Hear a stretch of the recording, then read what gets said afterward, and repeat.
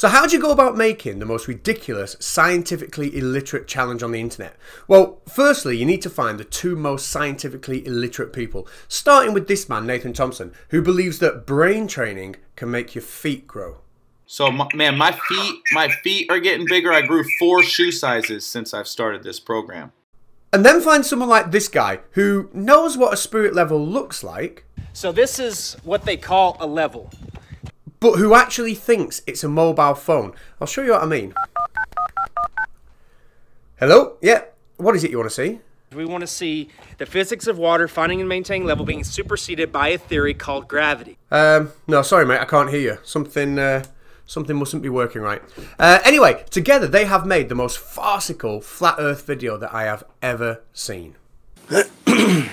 Yeah, I know, sorry, Ranty, but I am even including you in that. I don't think even you at this point could say anything that's more ridiculous than what you're about to witness. Appears to be a second moon um, behind the, the full moon. Um, actually, Ranty, that's not a bad effort. Anyway, Nathan Thompson and Flat Earth Millionaire have decided to offer $200,000 to anybody that can complete three of their scientifically illiterate challenges.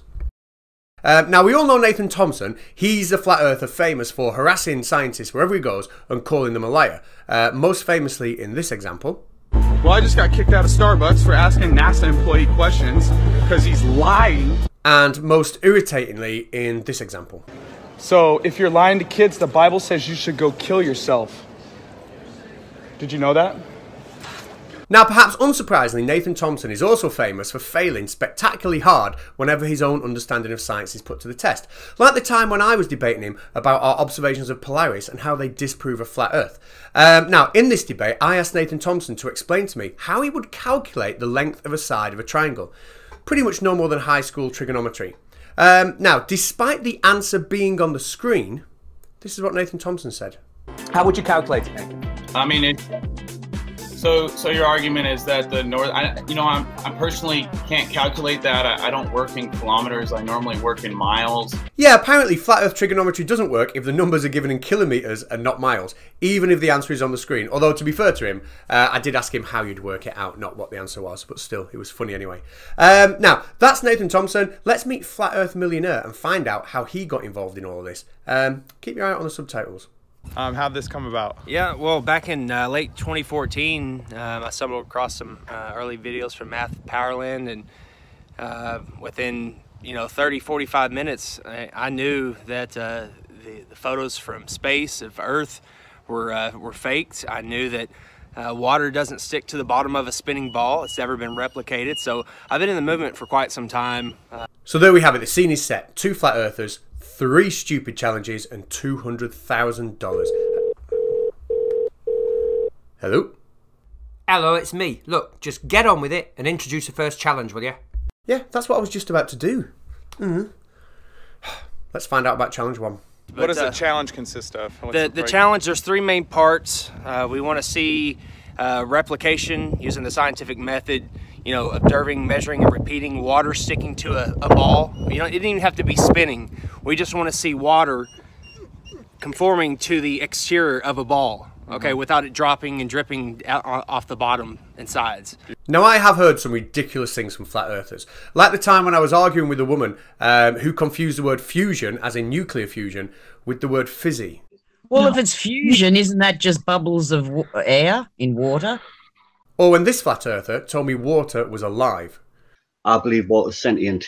But this first challenge really takes a biscuit, and we all know why. What they are asking us to do is perform an act that would actually disprove gravity as we know it.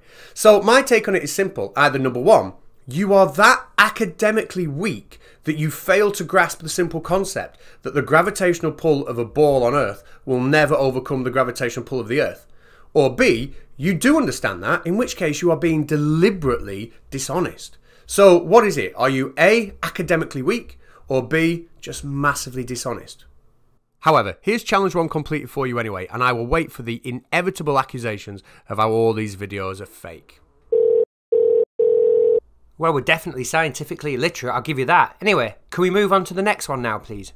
Okay, well, let's see if you actually can move on to the next point. You see, we've done challenge one, we know there are three, so what number comes next? Beautiful. Okay, so we want to see that. Have to We- be a big we- ball. Yeah, Because of gravity. Absolutely, Right. because of gravity. Uh, This Okay. theory that supersedes the physics of water finding and maintaining level. Yeah. Okay, it's That a theory. supersedes the theory uh, or law of thermodynamics. yeah, the- the that the second law of gas ther- yeah. would escape into the vacuum. That's the that's the third. All uh, right. That's the third challenge is uh, replicate using the scientific method, uh, showing where um, a vacuum or zero pressure can exist next to a pressurized system. So in typical flat Earth fashion, after challenge one comes challenge three. Um, I really can't help but think that these guys might really have benefited from rewatching Mark Sargent's Flat Earth Maths Masterclass from before Christmas. One. Two.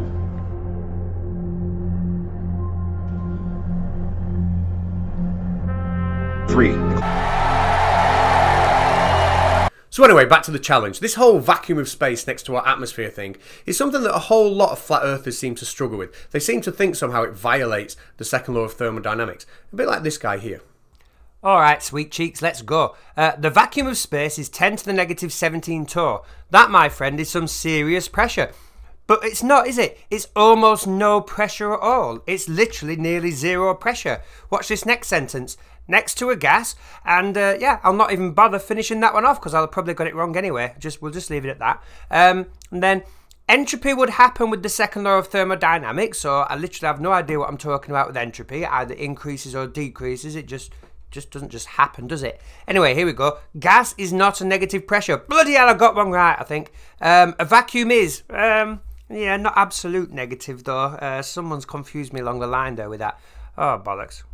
So given the fact that there's probably more chance of this little finger winning the men's 4x400 metre relay at the next Olympics than there is of Nathan Thompson or Flat Earth Millionaire actually explaining what the second law of thermodynamics is, I thought I'd challenge myself to see if I can explain inside 30 seconds a little bit about thermodynamics, entropy, and how our atmosphere is involved in that. Absolutely can't wait. Start the clock. The second law of thermodynamics says that in a closed system, when energy changes occur, entropy must increase. And at a very basic level, what that means is the energy just gets spread out a little bit more. Now, the Earth isn't a closed system, but still, let's crack on anyway. Here's the Sun. When energy from the Sun is absorbed by Earth, it is re-emitted, but it's re-emitted as a higher number of lower energy photons. So therefore, the energy is being spread out, entropy is increasing. And this process incre- uh, repeats itself as energy travels through the atmosphere from one layer to the next, absorbing and then re-emitting the energy as a high number of photons. By the time the gas particles get to what we would call the edge of space, they have done so much work against gravity and radiated off so much heat that they don't have any energy left to cause any sort of significant pressure. Amazing. Thank you. So, what that means is, as we all knew anyway, there is no high pressure next to the vacuum of space. It is a gradient that fades off to zero, and that in no way, shape, or form contradicts anything to do with thermodynamics or entropy. Give us a second. Hello? Oh, you think you're so smart, but we don't even need to understand science to say it's rubbish. We're flat earthers. Anyway, let's see if that little explanation has helped out our commenter from before, shall we? No, I don't think it has helped. In fact, I think I'm even more of a confused mess now. Look, listen to this. Uh, the container with gas pressure, pressure, pressure, pressure. I think you missed the word pressure. Yeah, See what I mean? Um, then this is a good one. The put a vacuum doesn't suck or have pressure. That's why a space, not space, that's why a space is 10 to the negative 17th tor, spoke wrong. Uh, if it's actually nothing, they should just say it's zero. See what I mean? I'm like, I'm putting words together, but screw the order, that doesn't matter. This next bit's good too. Uh, even the strength from one tor, what kind of tor is that? Uh, and atmospheric pressure will crush a rail car, right? So that will crush a rail car, but that isn't strong because you can crush a rail card just just by looking at it. Oh, I really hope Conspiracy Cats doesn't turn this comment into a song and, you know, put it at the end of this video. Uh, I guess that didn't help him. Um, anyway, somebody else who still doesn't understand the second law of thermodynamics is Nathan Thompson. Now, you think somebody who was involved in a challenge where $200,000 were on the line, and the challenge was claiming that a violation of the second law of thermodynamics would have to happen for us to have an atmosphere next to space.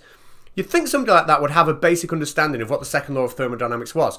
So I popped onto Nathan Thompson's channel while he was live streaming a couple of days ago, and I asked him. Shut up before I block you. You're boring and annoying and scientifically illiterate. So in other words, no, he's uh, he's still pretty clueless.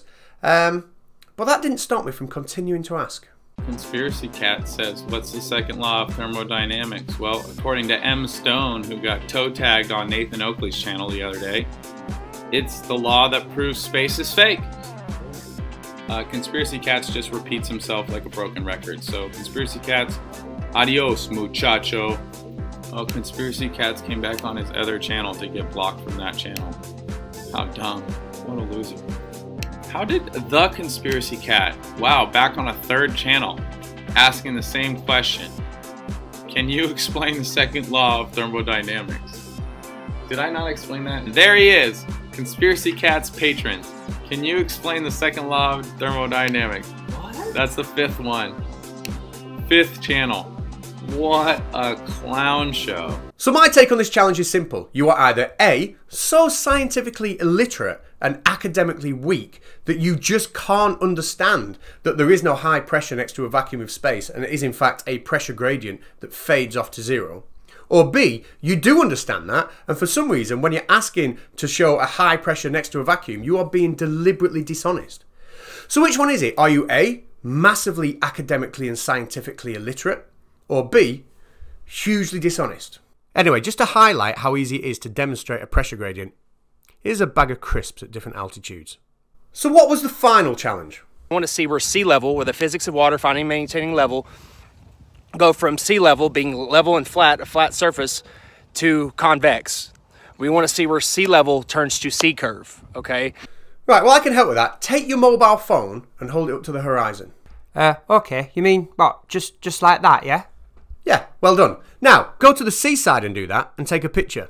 Uh, these pictures, by the way, are from the Metabunk website, and I've linked that website in the description. Please check it out. There is so much flat earth destroying stuff on there. It's absolutely incredible.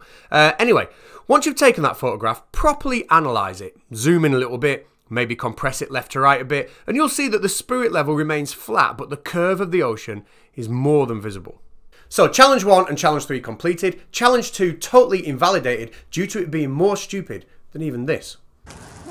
Are these flames defying gravity by going up? So I will claim my money now, but I might let you keep it if... Well, if you decide to spend it on a ticket on one of the upcoming Virgin Galactic space missions. You see, from there you'll be able to see and film the curvature of Earth yourself.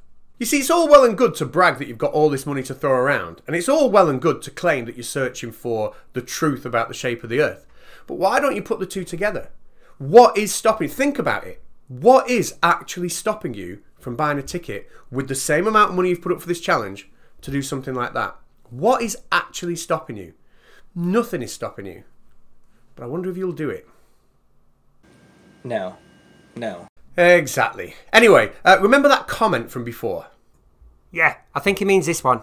Well, to play us out, the Flat Earth community and I have been working together to turn it into something a little more beautiful. Enjoy. The container with gas pressure. Pressure, pressure, pressure. I think you missed the word pressure. So here it is again. Press, press, pressure. But a vacuum doesn't suck. Beautiful. Cheers. I thought it was too high for me, but I might have just got away with it. Thank goodness.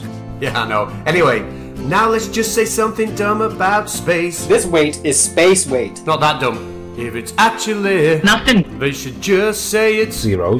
What a team effort. You guys are amazing. You're the man, conspiracy cats. Oh, thanks. I'm the man. I, I like that.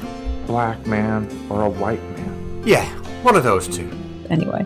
Yeah, you're right. Let's let's crack on with it. Atmospheric pressure will crush a rail car, but that's not strong cause you can crush a rail card. Shut up before I block you. You're boring and annoying and scientifically illiterate. But you are Superman. Superman. Well done, boys. Superman. Alright, don't get carried away. You can't just throw it in at any old time. Anyway, I've had enough of this. Over to you, Nathan Roberts. You finish it off. Do do do do do do do. Lovely jubbly.